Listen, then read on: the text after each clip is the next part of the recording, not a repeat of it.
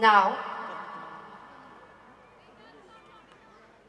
let's welcome the students of Senior KG Lotus. As we assemble here today, let us commence our sacred journey with a heart full of devotion as we offer our Ganesh Vandana to the Lord of Wisdom and remover of obstacles.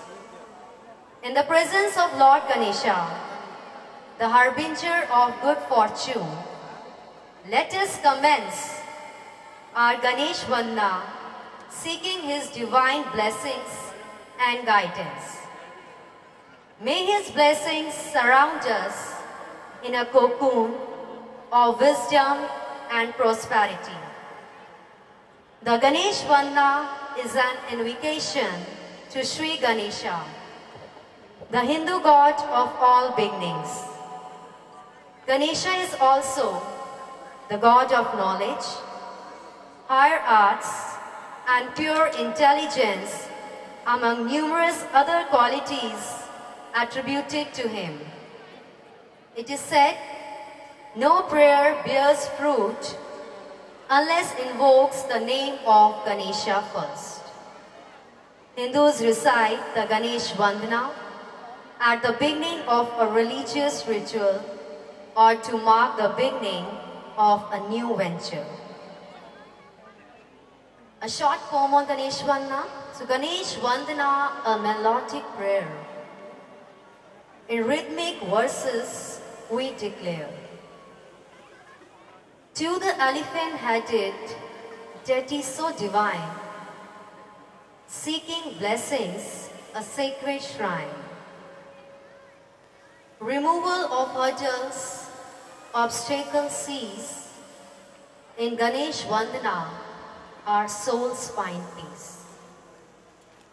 With folded hands and a heart sincere, we invoke Ganesha without any fear. Lord of beginnings, wisdom profound, in each stanza your glory resounds. Ganesh Vandana, a hymn so pure, guiding us through life's intricate live.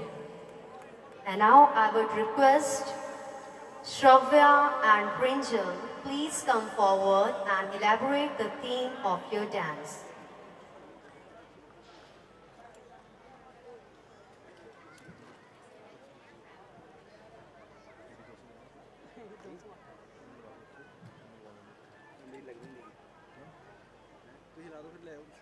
Hello. How are you? I'm fine. Okay. Good evening, everyone. We are students of Senior KG Lotus. We are going to perform Ganesh Vandana. Thank you.